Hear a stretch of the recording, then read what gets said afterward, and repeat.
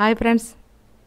Welcome to Vijay competitive ఈరోజు మనం ICDS supervisor exam సంబంధించి గ్రోత్ చార్ట్ టాపిక్లోనే మరికొన్ని ఇంపార్టెంట్ బిట్స్ తెలుసుకుందాం.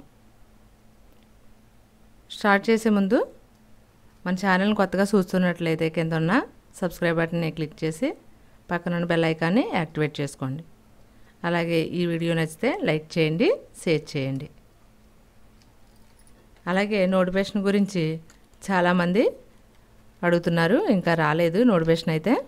వచ్చిన వెంటనే మన ఛానల్లో అప్లోడ్ చేయడం జరుగుతుంది. ఓకే బిట్స్ చూద్దాం. ఫస్ట్ది బిడ్డ ఐదు నుండి ఆరు నెలల్లో బరువు ఎన్ని గ్రాములు పెరగాలి? ఆన్సర్ వచ్చి బి నాలుగు వందల గ్రాములు. బిడ్డ ఐదు నుండి ఆరు నెలల్లో బరువు నాలుగు వందల గ్రాములు పెరగాలి. సెకండ్ క్వశ్చన్ బిడ్డ ఏడు నెలల నుండి మూడు సంవత్సరాల్లో ప్రతి నెల ఎన్ని గ్రాములు బరువు పెరగాలి? ఆన్సర్ వచ్చి బి రెండు వందల గ్రాములు. బిడ్డ ఏడు నెలల నుండి మూడు సంవత్సరాల్లో ప్రతి నెల కూడా రెండు వందల గ్రాములు పెరుగుతూ ఉండాలి. థర్డ్ బిట్ బిడ్డ మూడు నుండి నాలుగు నెలల్లో బరువు ఎన్ని గ్రాములు పెరగాలి? ఆన్సర్ వచ్చి సి ఆరు వందల గ్రాములు. బిడ్డ మూడు నుండి నాలుగు నెలల్లో ఆరు వందల గ్రాములు బరువు పెరగాలి.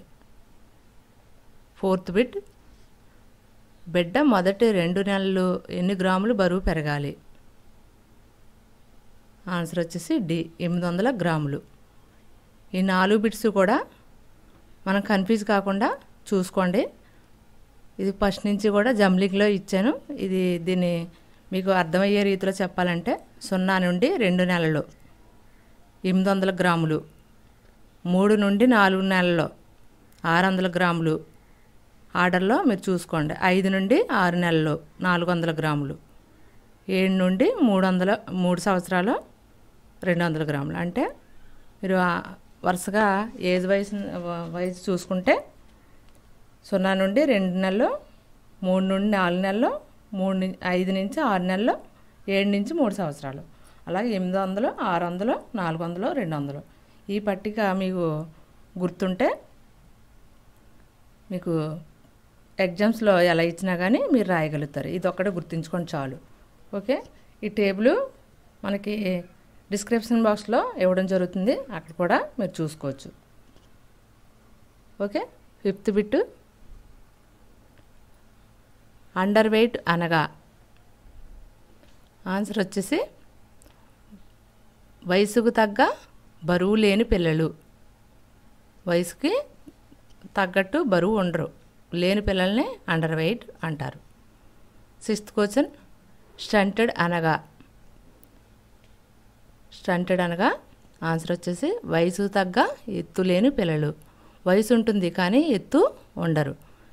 ఈ వయసు తగ్గ ఎత్తు లేని పిల్లల్ని స్టంటి స్టంటింగ్ అంటారు. సెవెంత్ క్వశ్చన్ వేస్టెడ్ అనగా. ఆన్సర్ వచ్చేసి ఎత్తుకు తగ్గ బరువు లేని పిల్లలు. ఎత్తుకు తగ్గట్టు వాళ్ళు బరువు ఉండరు ఎత్తు ఉంటారు కానీ బరువు ఉండరు. ఈ మూడు కూడా అండర్ వెయిట్ స్టంటెడ్ వేస్టెడ్. ఈ మూడు కూడా చాలా జాగ్రత్తగా చూసుకోండి కనిపించి కాకుండా వయసు తగ్గ బరువు అండర్ వెయిట్ అంటే. అలాగే స్టంటెడ్ అనగా వయసు తగ్గ ఎత్తు లేని పిల్లలు. వేస్టెడ్ అనగా ఎత్తు తగ్గ బరువు లేని పిల్లలు. ఇలాగే ఈ మూడు కూడా కనిపించి కాకుండా చూసుకోండి. ఎయిత్ క్వశ్చన్ సేమ్ అనగా. ఆన్సర్ వచ్చేసి severely acute and malnutrition అతి తీవ్ర లోపపోషణ. సేమ్ అనగా.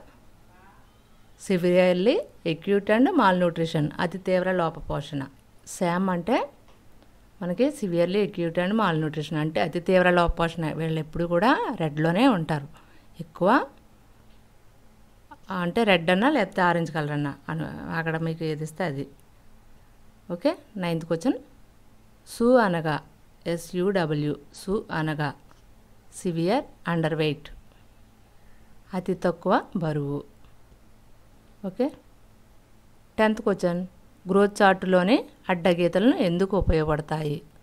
గ్రోత్ చార్టులోని అడ్డగీతలు ఎందుకు ఉపయోగపడతాయి అంటే ఆన్సర్ వచ్చేసి బరువులను సూచించడానికి.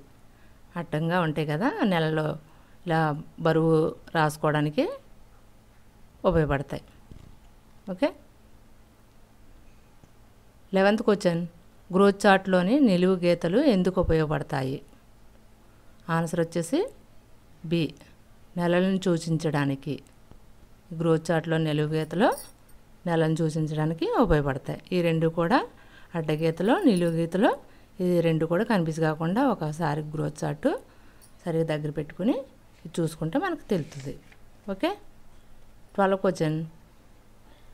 బిడ్డ అతి తక్కువ బరువు సు ఉంటే గ్రోత్ చార్ట్లోని ఏ రేఖపై సూచిస్తారు?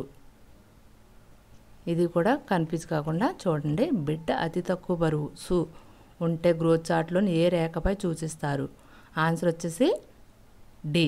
మూడో రేఖకు కింద భాగంలో అంటే మూడో రేఖకు కింద భాగంలో ఉంటే అదేంటి? అతి తక్కువ బరువు. సో అనేసి చెప్పవచ్చు. ఓకే? Thirteen question. బిడ్డ పెరుగుదల మరియు అభివృద్ధిని నిర్ణయించడంలో ఏ ప్రమాణాలు ప్రభావితం చేస్తున్నాయి? ఆన్సర్ వచ్చేసి డి. పోషణ మరియు పరిసరాలు మరియు ఆరోగ్య సంరక్షణ. ఇక్కడ బిడ్డ పెరుగుదల మరియు అభివృద్ధిని నిర్ణయించడంలో ఏ ప్రమాణాలు ప్రభావితం చేస్తున్నాయంటే పోషణ గురించి పరిసరాలు మరియు ఆరోగ్య సంరక్షణ. పద్నాలుగో క్వశ్చన్ కేంద్ర స్థాయిలో మహిళా ఆరోగ్య శాఖలు కొత్త పెరుగుదల ప్రమాణాలు రాష్ట్ర ప్రభుత్వాలు అమలు చేయాలని ఎప్పుడు నిర్ణయించింది? ఆన్సర్ వచ్చేసి డి. ఆరో డేటు మనకి ఆగస్ట్ నెల రెండు వేల ఎనిమిదో సంవత్సరం నుంచి మనకి కొత్త పెరుగుదల ప్రమాణాలు అమలు చేయాలనేసి సూచించాయి. ఓకే? Last bit fifteen. పాత పెరుగుదల ప్రమాణాలు వేటిని సూచించేవి? ఆన్సర్ వచ్చేసి ఇక్కడ సి. పిల్లలు ఎలా పెరుగుతున్నారో తెలియజేసేవి. పాత పెరుగుదల ప్రమాణాలు పిల్లలు ఎలా పెరుగుతున్నారో తెలియజేసేవి. అదే కొత్త పెరుగుదల ప్రమాణాలు ఆరు ఎనిమిది రెండు వేల ఎనిమిదిలో వచ్చినాయి. అవి ఏం చెప్తున్నాయి? పిల్లలు ఎలా పెరగాలి మరియు పిల్లలు ఎలా పెరగడానికి హక్కు ఉన్నది అని తెలియజేస్తున్నాయి. ఓకే? ఈ కొత్త ప్రమాణాలు పాత ప్రమాణాలు ఒకసారి మీరు జాగ్రత్తగా చూడండి. Okay friends? ఈ బిట్స్ నచ్చితే లైక్ చేయండి షేర్ చేయండి.